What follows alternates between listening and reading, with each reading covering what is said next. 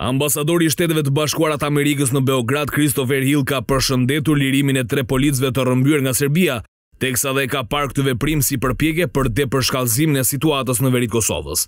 Ne e mirëpresim lajmin për vendimin e gjykatës për lirimin e tre policëve të Kosovës dhe presim që të bëhen përpjekje shtesë që do të çojnë në depërshkallëzimin e mëtejshëm të situatës aktuale, tha Hill. I pyetur se çfarë pret më pas për krizën në veri të Kosovës, ambasadori amerikan bëri thirrje për miratimin urgjent të planit tre pikësh të Bashkimit Evropian dhe kthimin e menjëhershëm të dialogut.